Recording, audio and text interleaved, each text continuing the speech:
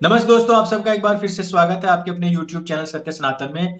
और आज हमारे साथ में एक नए मेहमान हमारे साथ में जुड़े हैं अभिजीत जोग जी। अभिजीत जी सबसे पहले तो आपका सत्य सनातन पर बहुत बहुत स्वागत। बहुत बहुत धन्यवाद।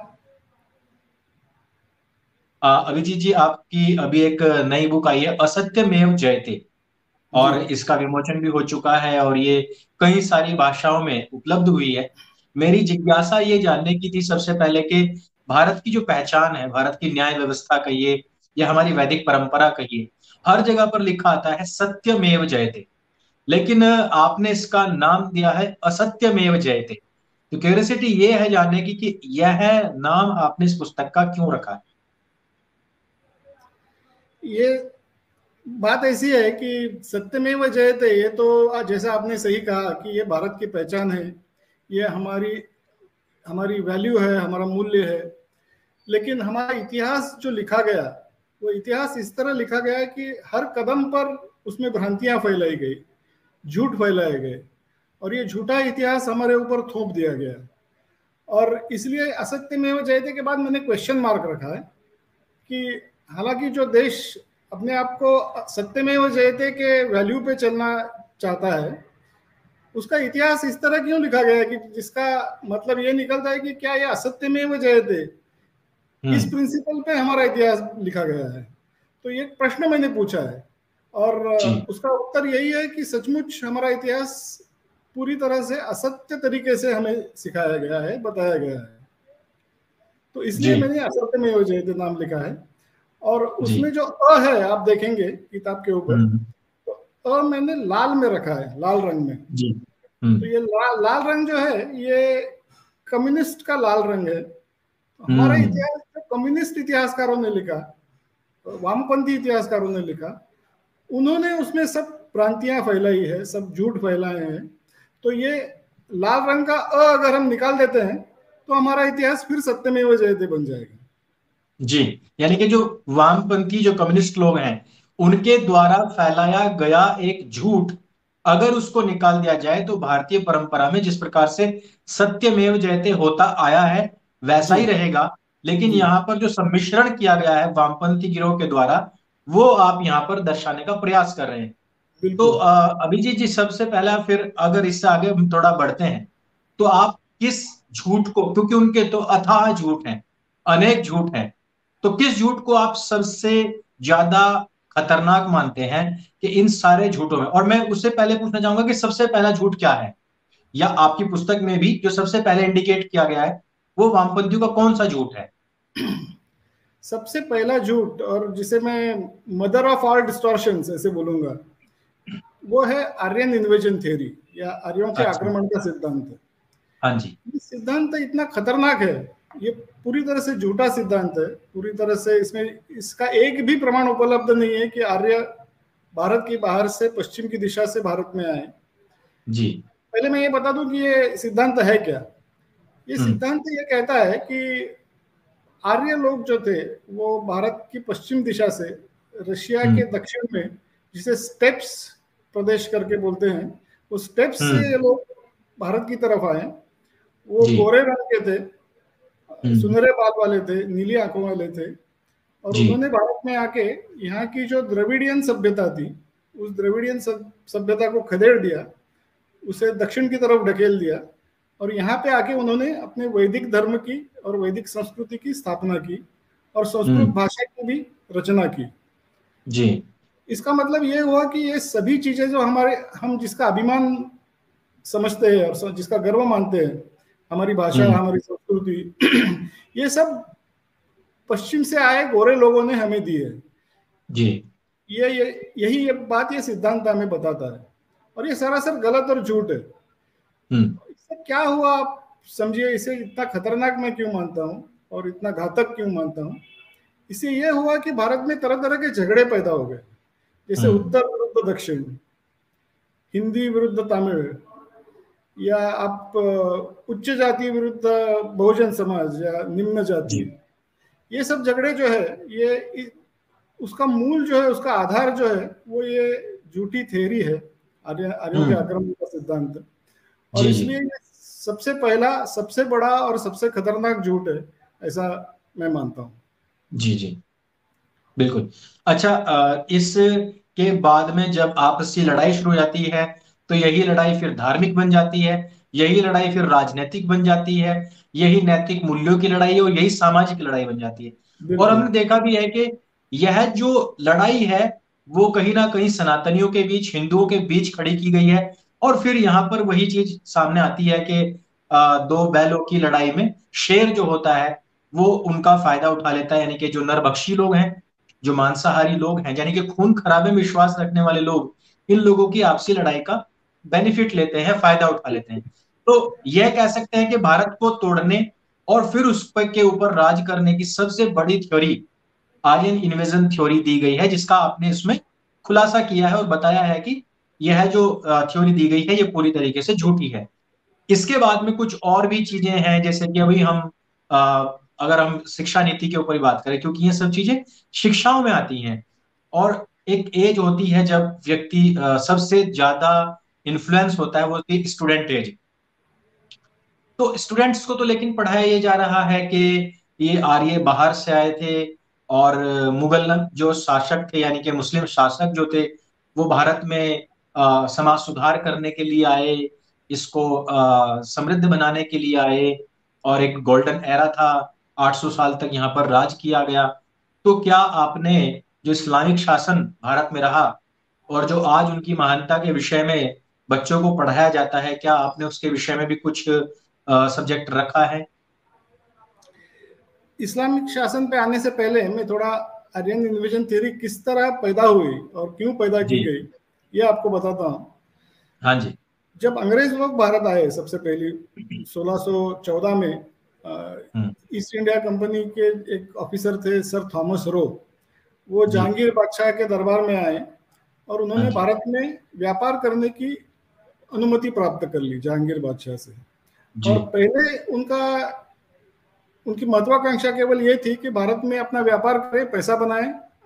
उनका मेन इंटरेस्ट था टू मेक मनी लेकिन जैसे समय बीतता गया तो 1750 साल तक उनको ये एहसास होने लगा कि भारत में हम अपना राज भी प्रस्तावित कर सकते हैं। सिर्फ़ व्यापार नहीं बट पॉलिटिकल इन्फ्लुएंस भी हम भारत में अपना जमा सकते हैं। तो सत्रह साल में उनका प्लासी की जो लड़ाई थी बंगाल में वो उन्होंने जीत ली। 1818 में उन्होंने मराठों को पराजित कर दिया। और उसके हम्म। बाद उनकी ये पक्की गारंटी हो गई कि अभी हम भारत में हमारा राज जो है वो सालों साल चलने वाला है। और ये हमारे साम्राज्य हम्म। का एक बड़ा हिस्सा बनने वाला है। तो यहाँ पे अब इनको हम कैसे इस तरह इन्फ्लुएंस करें कि हम्म। ये खुद होके हमारे गुलाम बन जाए। हम्म, अंग्रेज़ लोग बहुत चालाक थे। वो वो ये चाहते थे कि भारतीय लोग जो है उन्हें उनमें इस तरह की हीनता की भावना पैदा हो। इस तरह का आत्मसम्मान उनका इस तरह खत्म हो जाए। आत्मविश्वास इस तरह खत्म हो जाए।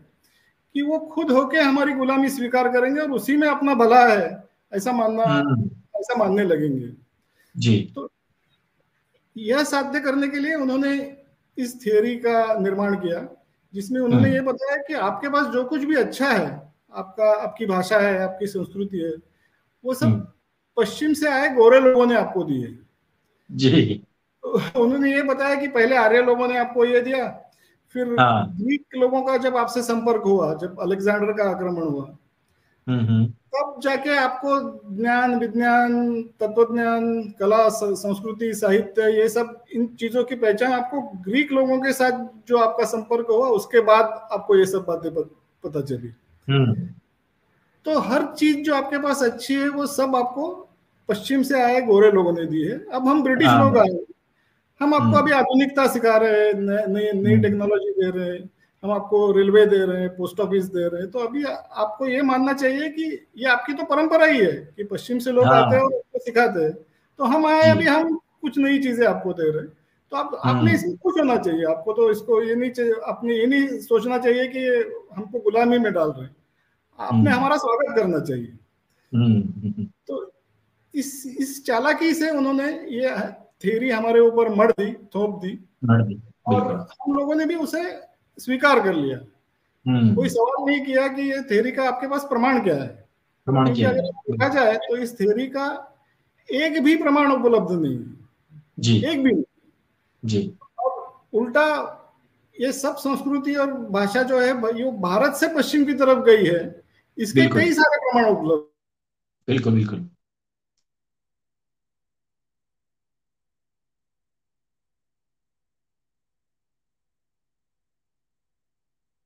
आपकी वीडियो शायद रुक गई है।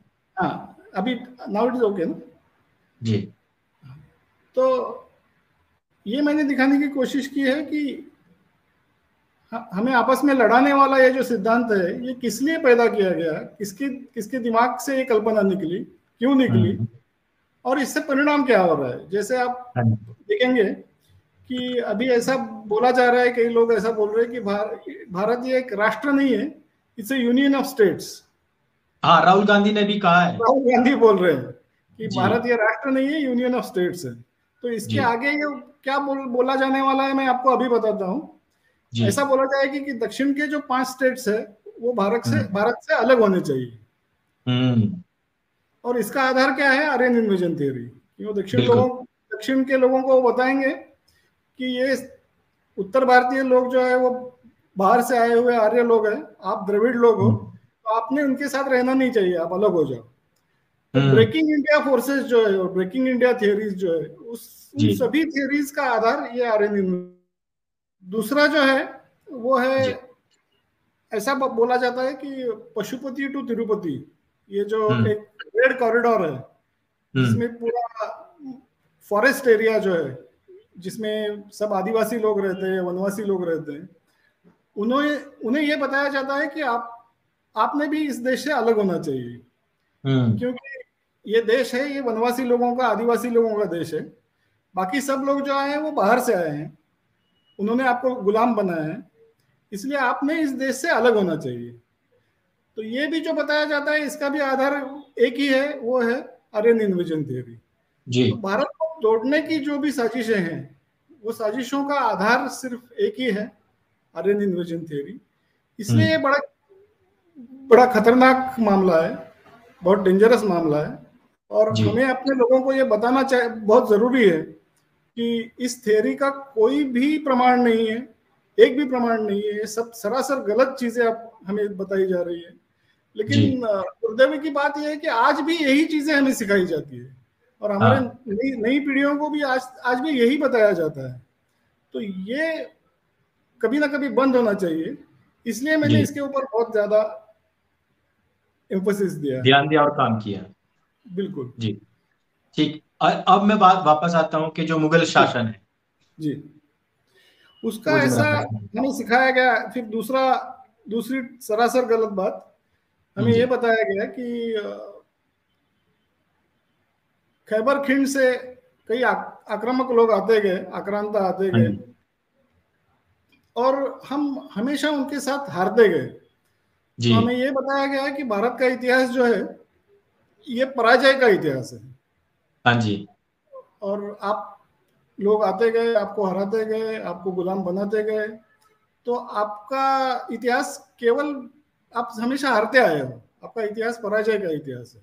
जी। इससे फिर क्या हुआ कि हमारा आत्मविश्वास खत्म हो गया।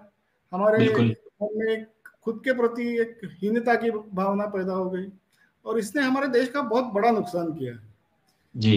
लेकिन अगर देखा जाए तो ये भी वास्तविकता नहीं है। हमारा इतिहास हम्म। पराजय का इतिहास नहीं है। हमारा इतिहास संघर्ष का इतिहास है। जी। तो इसके लिए मैंने कई प्रमाण दिए हैं। आपको बिल्कुल संक्षिप्त में बताता हूँ कि मोहम्मद पैगंबर की जब मृत्यु हो गई छह सौ बत्तीस साल में हाँ उसके बाद अरब लोग जो थे जो खलीफा थे वहाँ के अबू बकर उन्होंने ये तय किया कि अभी इस्लाम का प्रसार करने के लिए अरब से अरबस्तान से बाहर निकल के मुहिम शुरू करनी चाहिए हम्म। और उन्होंने चारों तरफ़ अपने सैनिकों को भेजा इस्लाम का प्रसार करने के लिए जी। और 100 केवल 125 साल में उन्होंने हम्म। पूर्व दिशा में अफ़गानिस्तान से लेके पश्चिम में स्पेन हम्म। तक मगर आप दुनिया का नक्शा सामने लाओगे तो करीब इतनी बड़ी जगह है इतना बड़ा प्रदेश है इसको केवल 125 साल में उन्होंने पूरी तरह से जीत लिया। जी। मानो जैसे एक मानवीय सुनामी थी वो जिसके सामने कोई नहीं टिक सका। ये हाँ जो पूरा एरिया है इसमें दो बड़े साम्राज्य थे। एक था बाइजेंटाइन हम्म। साम्राज्य जिसे ईस्टर्न रोमन एम्पायर भी बोलते हैं। हाँ. इसमें सीरिया है इजिप्ट है then you have northern Africa Palestine ये सब बाइजेंटाइन एम्पायर का हिस्सा थे। जी। तो ये बहुत बड़ा शक्तिशाली साम्राज्य था लेकिन हम्म। ये सभी प्रदेश जो है इजिप्ट को उन्होंने चार साल में जीत लिया। उन्होंने यू नो सीरिया और पैलेस्टाइन को आठ साल में जीत लिया। हम्म। दूसरी तरफ़ था ससानिड एम्पायर और पर्शियन एम्पायर वो भी हाँ दूसरा बहुत ही शक्तिशाली एम्पायर था जिसमें ईरान इराक जैसे देश शामिल थे। जी। इस इस साम्राज्य को भी उन्होंने ईरान को उन्होंने आठ साल में जीत लिया। इराक को केवल दो साल में जीत लिया।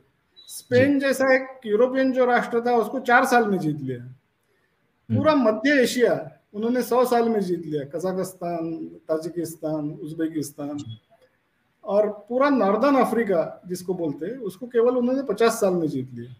ये पूरा का पूरा प्रदेश उन्होंने केवल 125 साल में पूरी तरह हम्म। से अपने कब्जे में कर लिया। जी। और उसके बाद कुल मिला के 250 साल में उन्होंने हम्म। ये पूरे प्रदेश के लोगों को इस्लाम धर्म स्वीकारने को मजबूर मजबूर किया। और उनको अरब भाषा अरेबिक भाषा भी उन पर थोप दी। तो उनकी जो ओरिजिनल भाषाएँ जो थी वो लोगों को भूलना पड़ा। अपना ओरिजिनल धर्म जो था वो भी छोड़ना पड़ा। उन्हें मुस्लिम बनना पड़ा और अरेबिक भाषा का स्वीकार करना पड़ा। अभी इसके कंपैरिजन में आप देखिए भारत में क्या हुआ? हम्म। भारत में उन्होंने अपना आक्रमण शुरू किया छह साल में। जी।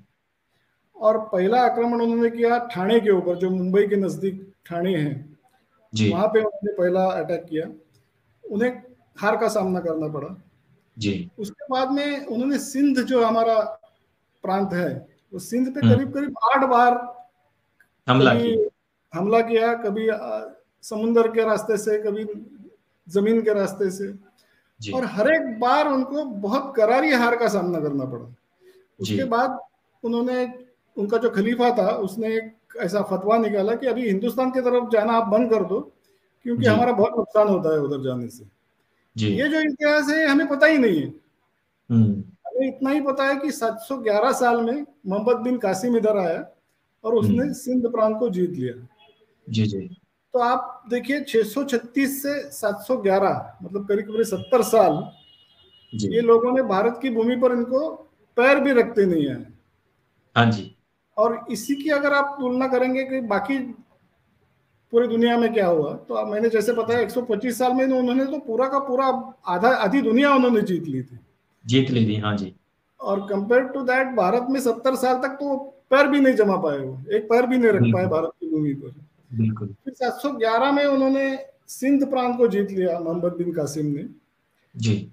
और हमें ऐसा लगता है कि पहले ये जीता और उसके बाद बार बार वो लोग आते गए और सिर्फ़ हम सिर्फ़ हारते गए। बट ये भी बिल्कुल गलत बात है क्योंकि हम्म। मोहम्मद मोहम्मद बिन कासिम ने सिंध जीतने के बाद अरब सेना ने भारत में और अंदर घुसने की कोशिश की। वो पूर्व की तरफ़ राजपुताना और गुजरात की तरफ़ आगे बढ़ना चाहते थे मध्य प्रदेश की तरफ़। हाँ तब चित्तौड़ के जो राजा थे बापा रावल उन्होंने हम्म। चार राजाओं को एक साथ जोड़ लिया। वो थे गुर्जर प्रतिहार राजा नागभट्ट राष्ट्रकूट के राजा जयवर्मन जयसिंह वर्मन और चालुक्य के राजा पुलकेशिन। और ये चारों राजाओं ने एक होकर अरबों को इतनी ज़बरदस्त हार दी हम्म। कि अरब लोग वहाँ से बिल्कुल भाग गए। और उनका पीछा करते हुए बापा रावल ईरान और मध्य एशिया तक पहुँच गए और उन्होंने रावलपिंडी जो शहर है वो बापा रावल ने वहाँ पे बनाया कि फिर भारत के ऊपर इस तरह के आक्रमण ना हो। इसलिए एक हम्म। वहाँ पर आउटपोस्ट जिसे हम बोलते हैं उस आउटपोस्ट के रूप में उसने रावलपिंडी शहर बना लिया। जी। अगर पूर्व की तरफ़ उनको इस तरह से हार सहन करनी पड़ी तो उन्होंने हम्म। उत्तर की तरफ़ जाने का सोचा। तो जब वो नॉर्थ की तरफ़ जा रहे थे तो वहाँ नॉर्थ कश्मीर के राजा थे ललितादित्य। हम्म। तो ललितादित्य ने भी इन अरब सेनाओं को फिर धूल चटाई बहुत ज़बरदस्त हार का सामना करना पड़ा। जी। उसके बाद ये अरब लोग भारत से वापस चले गए और उसके बाद हम्म। करीब तीन सौ साल तक उन्होंने भारत की तरफ़ आग उठा के भी नहीं देखा। जी। लेकिन ये हमें बिल्कुल पता ही नहीं होता है। हमको तो ये बताया जाता है कि मोहम्मद बिन कासिम के बाद बार बार लोग आते गए हमें हराते गए और हम गुलाम बनते गए। जी जी। इस तरह से अगर आप देखेंगे तो दिल्ली में जो पहला इस्लामिक शासन बना वो 1206 में बना जो दिल्ली सल्तनत जिसे हम बोलते हैं। जी। तो 636 से लेकर 1206 तक मतलब करीब करीब 600 साल जी। उन्होंने भारत की मुख्य भूमि पर उन्हें अपना शासन प्रस्थापित नहीं नहीं कर दिया। बिल्कुल। वही देखिए बाकी जगह क्या हुआ। बाकी हम्म। 125 साल में राजकीय उन्होंने अपना क्या बोलते हैं इस्टेब्लिश कर लिया। पॉलिटिकली अपना राज्य इस्टेब्लिश कर लिया। और कल्चरली एंड लिंग्विस्टिकली जिसो जिस जैसे जैसे हम कह, कह सकते हैं कि अपनी भाषा और अपनी संस्कृति और अपना धर्म उन्होंने केवल 225 सा, 250 साल में पूरी दुनिया में उसको एक्सेप्ट करवाया। लेकिन भारत में 600 साल के बाद पहली बार मुख्य भूमि पर उन्हें अपना राज मिला।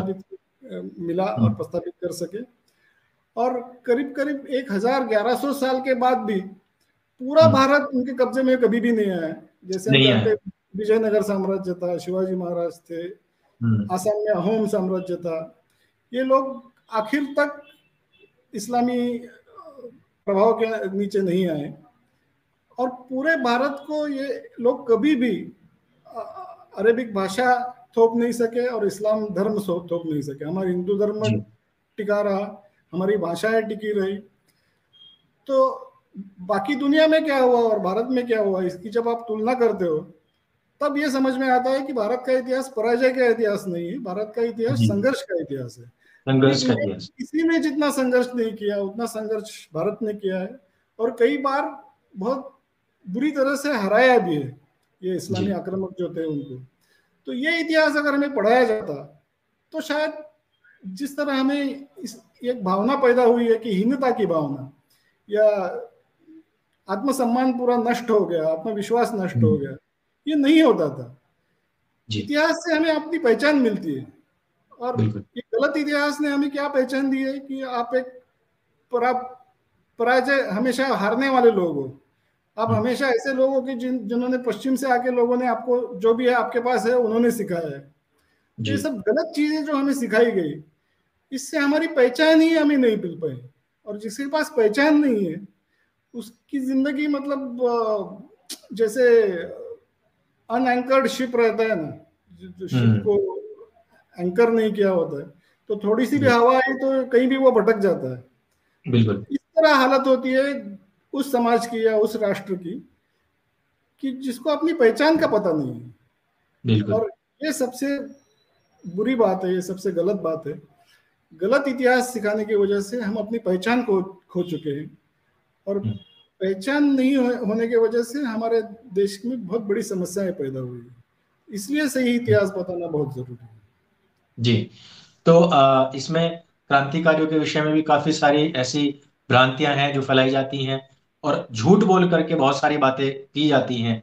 क्या आपने इसमें, जैसे कि स्वतंत्र वीर सावरकर जी के विषय में एक बहुत बड़ा झूठ फैलाया जाता है और जिस धरा से वो आते हैं, जिस भूमि से वो आते हैं, वो आपने बताया कि छत्रपति शिवाजी महाराज के धरा से वो आते हैं और वहाँ पर उनकी काफ़ी पूजा की जाती है, उनको माना जाता है। लेकिन वामपंथी गिरोह के द्वारा जो इस समय पर विपक्षी पार्टियाँ हैं, वो उनके नाम पर काफ़ी गंद मचाते हैं।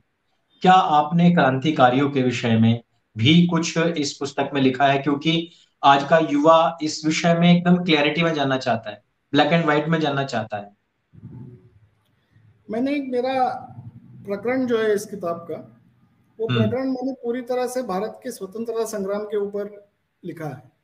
जी। कि भारत को स्वतंत्रता किस वजह से मिली?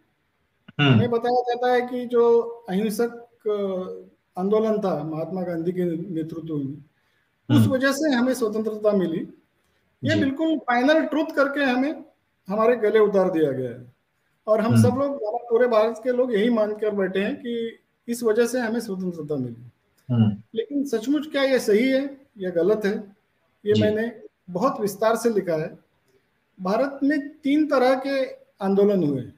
एक आंदोलन था क्रांतिकारियों का आंदोलन जैसे हम्म। स्वातंत्र वीर सावरकर भगत सिंह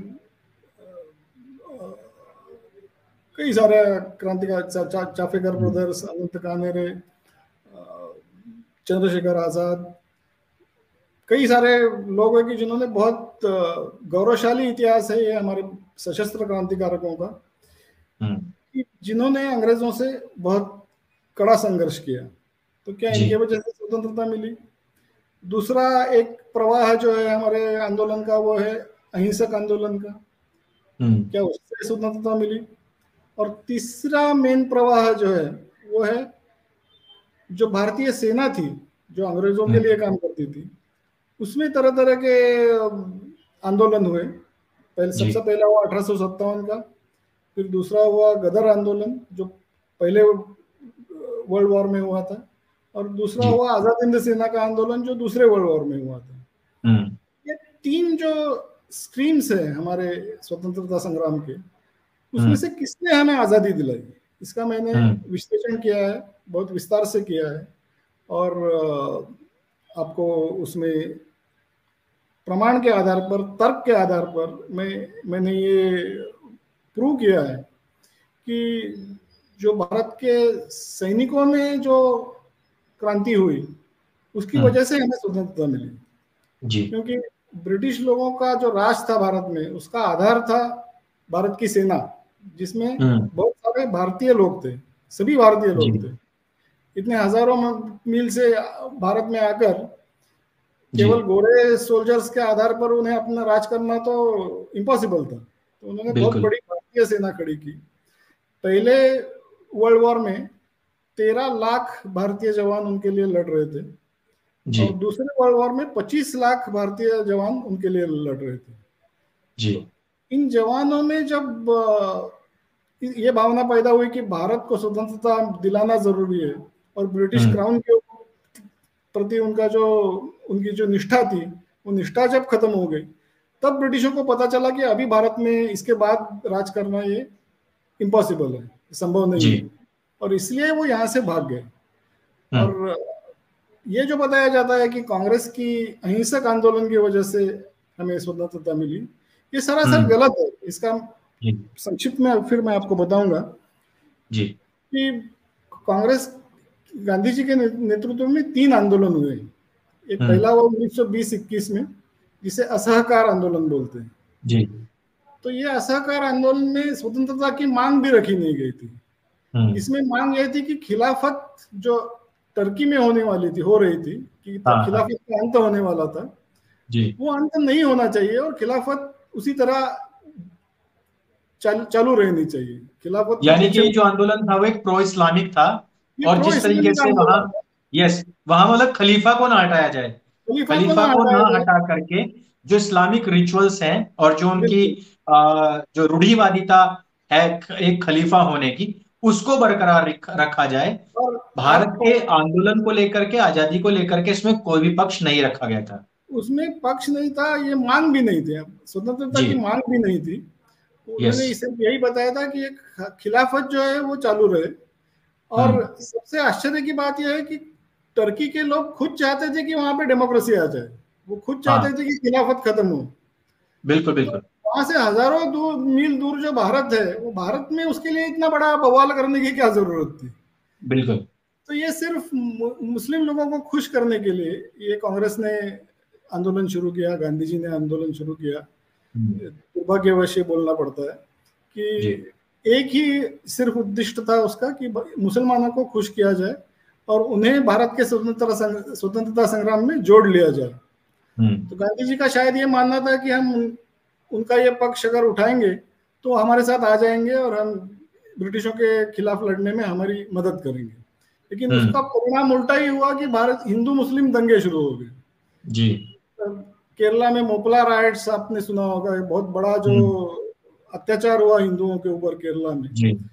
उसकी शुरुआत इस खिलाफत आंदोलन से ही हुई हम्म। और पूरा माहौल भारत का बिगड़ गया और हिंदू मुस्लिम दंगों का एक सिलसिला शुरू हो गया जी ये पहला आंदोलन जो था बीस इक्कीस का ना तो उसमें आज़ादी की मांग थी ना ये आज़ादी के लिए था और ना ही ये सफल हुआ खिलाफत भी हम्म। खत्म हो गई हमें स्वतंत्रता तो मिली ही नहीं हिंदू मुस्लिम एकता भी नहीं हुई तो कुछ भी हम्म। हासिल नहीं हुआ और एक, एक साल दो साल में ये आंदोलन खत्म हो गया जी फिर दूसरा बड़ा आंदोलन जो था वो 1930-31 में सिविल डिसोबीडियंस मूवमेंट जिसे बोलते हैं मतलब। नमक का सत्याग्रह आई एम। श्योर कि सबने सुना है।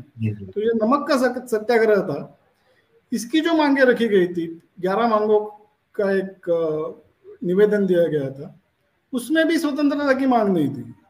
बिल्कुल। तो दूसरा बड़ा आंदोलन है कि जिसमें वह फिर स्वतंत्रता की मांग भी नहीं रखी है और ये आंदोलन जब दांडी मार्च हुआ तो ये बहुत बड़ा हम्म। मीडिया इवेंट हुआ। पूरी दुनिया में हम्म। उसका डंका बच गया।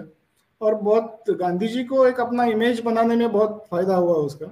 लेकिन उसके बाद जब उन्हें जेल में डाला गया गांधी जी को उसके बाद में करीब पंद्रह बीस दिन में दो महीने दो महीने में ये आंदोलन फिर खत्म हो गया।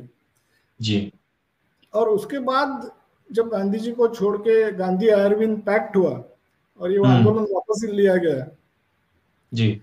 तब उसमें ग्यारह मांगों में से सिर्फ़ पाँच मांगे फिर से आगे रखी गई। और वो पाँच मांगों में भी स्वतंत्रता का तो कोई नाम भी नहीं था। छोटी मोटी मांगे थी कि जिन्होंने आंदोलन में भाग लिया लिया है उनके अगर जॉब वगैरह नौकरियाँ गई है तो उनको वापस लिया जाए अपने जॉब में वगैरह इस तरह की मांगे रखी गई। हम्म, और आप सुनकर हैरान हो जाएँगे कि इतना बड़ा आंदोलन हुआ पूरी दुनिया में उसकी चर्चा हुई लेकिन वो जब वापस लिया गया तब नमक के ऊपर जो टैक्स लगाया था वो टैक्स भी ब्रिटेन ने कैंसिल नहीं किया। जी। मतलब स्वतंत्रता की बात तो छोड़ ही दो लेकिन वो नमक के ऊपर का कर भी उन्होंने रद्द नहीं किया वापस नहीं लिया। तो ये भी पूरी तरह से फेल हो गया आंदोलन दूसरा आंदोलन जो था वो भी पूरी तरह से फेल हो गया। जी। तीसरा बड़ा आंदोलन जो था वो था 1942 का चले जाओ आंदोलन जो था हम्म। छोड़ो आंदोलन। तो वो 1942 में बगैर किसी प्रिपरेशन के अचानक गांधी जी ने डिक्लेयर किया। उन्होंने उन्हें ऐसा क्यों करना पड़ा? ये मैंने बहुत विस्तार से किताब में लिखा है कि ऐसी नौबत क्यों आई उनके ऊपर? वो इस तरह कॉर्नर हो चुके थे कि अगर तब वो कुछ ना करते तो कांग्रेस का शायद पूरा रेलेवेंस ही खत्म हो जाता था। हाँ। तो इसलिए उन्होंने बगैर किसी प्रिपरेशन के ये एक आंदोलन शुरू कर दिया। और और अभिजीत जी आई थिंक जो गांधी इरविन पैक्ट हुआ था वो 1931 के आसपास हुआ था। और अगले 11-12 साल तक गांधी जी ने कुछ किया ही नहीं था यही तो मैं बोल रहा हूँ कि हाँ। हर दस साल के बाद एक आंदोलन।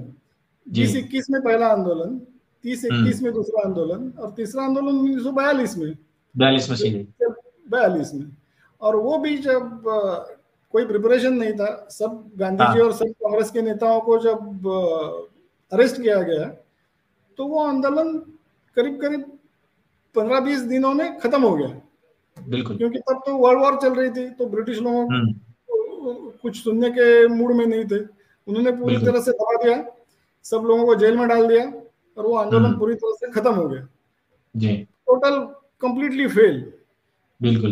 हमें जो बताया जाता है कि 1942 के बाद का आंदोलन इतना प्रभावी था कि उसके बाद तो स्वतंत्रता मिलना तय ही था सिर्फ़ उसकी किस तरह देना है बातें चल रही थी। तो ये सब गलत है। ये तीनों आंदोलन 20 21 का आंदोलन 30 31 का आंदोलन और 42 का आंदोलन, तीनों आंदोलन कुछ चंद महीनों में खत्म हो गए। पूरी तरह से नाकामयाब हुए। और हर दस साल के बाद एक आंदोलन जो जब हुआ, तब उसमें से कोई ऐसा ऐसी श्रृंखला, घटनाओं की श्रृंखला पैदा नहीं हुई कि जिसकी तीव्रता इस तरह बढ़ती गई कि मतलब आज़ादी देना एक तरह से हाँ जी। जी। अभिजीत जी इसमें एक और भी चीज़ ये आती है ना कि जब 42 में ये हुआ, उसके तुरंत बाद जब अंग्रेज़ों ने इनके साथ में मीटिंग की तो द्वितीय विश्व युद्ध में भारत के सैनिक जाकर के अंग्रेज़ों की तरफ़ से लड़े। इसके लिए भी गांधी जी ने अपील की थी। और यही नहीं, अंग्रेज़ों के लिए काफ़ी धन भी जुटा करके दिया था। और मतलब एक तरीके से इनको उनका एजेंट भी कहा कहा जाने लग गया था कि अंग्रेज़ों के एजेंट है। और इन्होंने, इनकी पूरी पार्टी ने ही उस टाइम पर जब आज़ादी फौज का गठन होने के बाद भारत की आज़ादी के लड़े, लिए लड़ाई हो रही थी तो ये सीधे सीधे उनके खिलाफ आकर के खड़े हो गए थे। तो मुझे ऐसा लग रहा है कि जो आपकी बुक है उसमें से ये सारी चीज़ें निकल करके आएँगी किस प्रकार से वो आज़ादी के लिए नहीं बल्कि अंग्रेज़ों की हुकूमत यहाँ बदस्तूर जारी रहे और हमारी जो छुटपुट पॉलिटिक्स है वो चलती रहे। उसके लिए वो लड़ाई ज़्यादा लड़ रहे थे। एक्चुअली कांग्रेस का जो जन्म हुआ वही इसलिए हुआ कि प्रेशर कुकर का जो वॉल होता है कि अंदर बहुत ज़्यादा प्रेशर होके पूरा फूट न जाए। इसलिए हाँ। बीच बीच में वो उसको रिलीज़ करना है वो प्रेशर को। सीटी निकालते रहे प्रेशर को। निकालते रहना है प्रेशर कम हम्म। करना है। इसलिए कांग्रेस की स्थापना इसी लिए की गई थी एक ब्रिटिश आदमी ने की थी एलन ऑक्टेवियन यूम करके। तो उसने यही सोचा था कि लोगों में अगर कोई असंतोष पैदा हो रहा है तो उसकी कांग्रेस सरकार को खबर मिलनी चाहिए। इसलिए उन्होंने कांग्रेस की स्थापना की कि लोगों में अगर कोई शिकायतें हैं कोई असंतोष है तो सरकार के सामने उन्हें पेश किया जाए ताकि हम्म। सरकार उसमें थोड़ा बहुत कुछ आगे पीछे करके लोगों को शांत कर सके। हम्म। और यही काम ये हर दस साल के बाद जो आंदोलन हुए उन आंदोलन ने यही काम किया प्रेशर कम करने बस।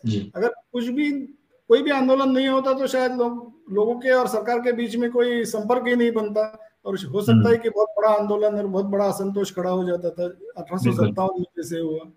जी तो जी। वो ना हो इसलिए ये प्रेशर कुकर का काम कांग्रेस के आंदोलनों ने किया। ये तीन आंदोलन जो दस साल की गैप के बाद हुए एक एक, एक के बाद हम्म। एक उनकी वजह से भारत को स्वतंत्रता मिली। ये कहना हम्म। सरासर गलत है क्योंकि आप कल्पना कीजिए कि दस साल में एक आंदोलन हो रहा है। वो एक हम्म। महीने दो महीने तक चल रहा है उसके बाद खत्म हो रहा है। तो उसमें ऐसा कौन सा कंपल्शन ब्रिटिशों के लिए पैदा हुआ होगा कि जिससे उन्हें भारत को आज़ाद करना या स्वतंत्रता देना कंपल्सरी हो गया होगा? ऐसा कुछ नहीं है। हम्म। ऐसा एक ही सिर्फ़ घटनाक्रम था कि जिसकी वजह से अंग्रेज़ों को यहाँ से जाना क्या बोलते हैं उसको बहुत ज़रूरी हो गया। जाने के सिवा कोई दूसरा चारा नहीं बचा। वो था आज़ाद हिंद सेना का आंदोलन आज़ाद हिंद सेना की लड़ाई। उसमें भी आज़ाद हिंद सेना का पराजय ज़रूर हुआ लेकिन हम्म। उसके बाद उन्होंने जो आज़ाद हिंद सेना के अफसरों के ऊपर मुकदमे चलाने शुरू किए लाल किले में हम्म। हम्म। उससे बहुत बड़ा असंतोष पैदा हुआ। ये हमें कभी आज तक सिखाया नहीं गया बट जब मेरी अगर किताब पढ़ोगे तो आपको मालूम पड़ेगा कि बहुत बड़ा असंतोष निर्माण हो गया भारत में।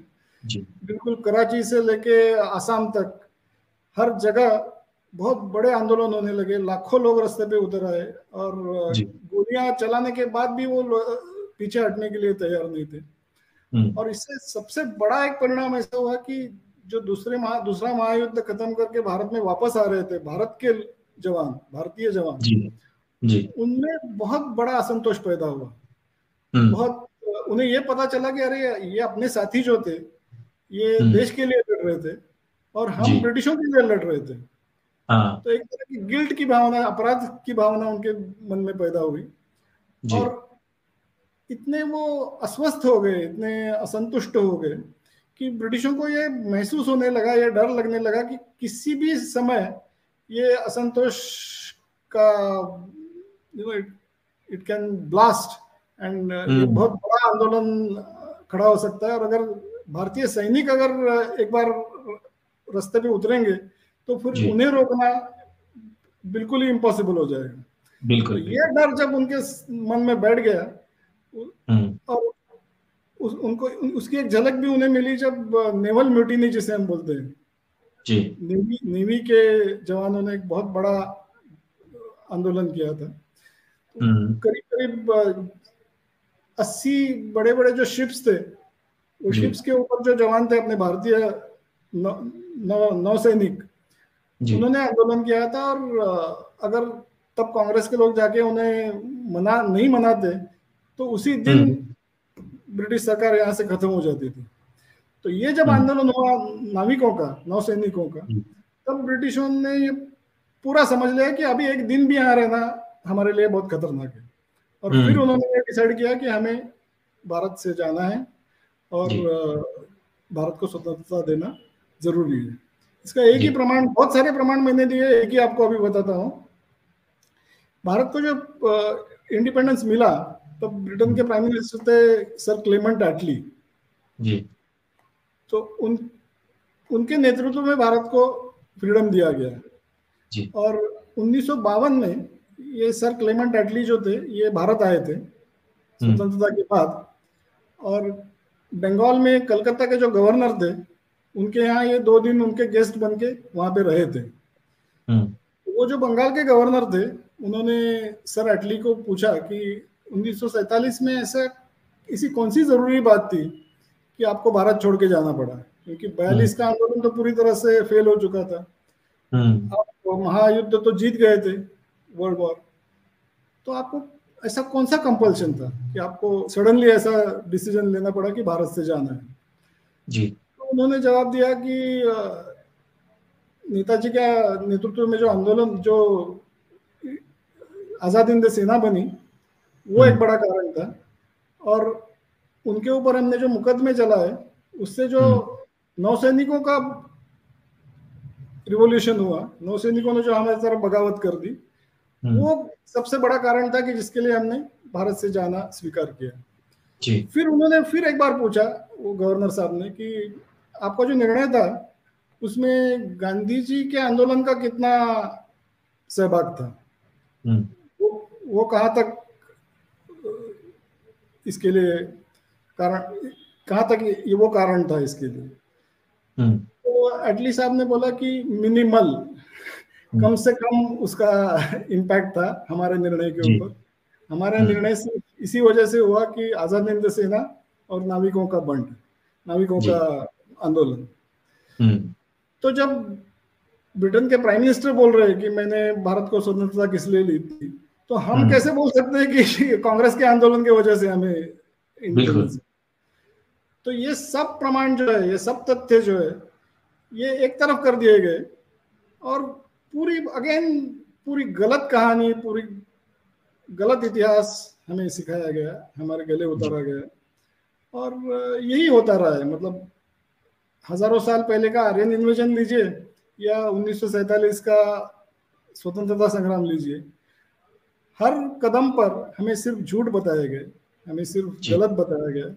और उसका पूरा परिणाम यही हुआ कि हमारा आत्मसम्मान नष्ट हो गया हमारा आत्मविश्वास नष्ट हो गया। हम्म, जी।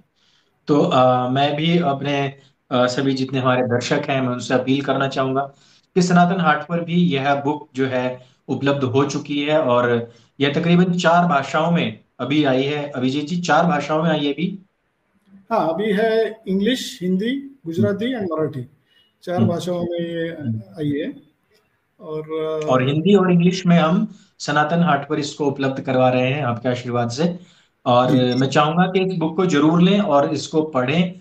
और अगर आपके कोई भी ऐसे सवाल हैं तो हमें नीचे कमेंट ज़रूर कर सकते हैं। और हम अभिजीत जी का बहुत बहुत धन्यवाद प्रस्तुत करेंगे कि उन्होंने अपने इस बिज़ी शेड्यूल में अपना वक्त निकाला है और जो हमारे सवाल थे उसके विषय में भी बात की है और पुस्तक के अंदर क्या क्या चीज़ें हैं और जो महत्वपूर्ण बातें हैं, उनके विषय में भी बात की है। और मैं दर्शकों से एक बार फिर से यही अपील करना चाहूँगा कि इस वीडियो को लोगों तक पहुंचाएँ, क्योंकि भारत का जो सच्चा इतिहास है, वो लोगों को पता होना चाहिए, क्योंकि यह जो असत्य है, जिसके आधार पर ये लोग भारतवर्ष के ऊपर शासन करने का सपना देख रहे हैं, यह बहुत ही खतरनाक है। युवाओं को और खास करके जो हमारी अगली आने वाली पीढ़ी है, उनको यह बात समझनी चाहिए। अभिजीत जी, आपने अपना समय निकाला और बहुत महत्वपूर्ण विषय है ये जिस पर आपने अपना पक्ष रखा है। इसके लिए आपका तहे दिल से बहुत बहुत धन्यवाद। बहुत बहुत धन्यवाद। आपकी वजह से आपके श्रोताओं से मैं रूबरू हो सका और उनसे कुछ बातें कर सका। बहुत अच्छा लगा।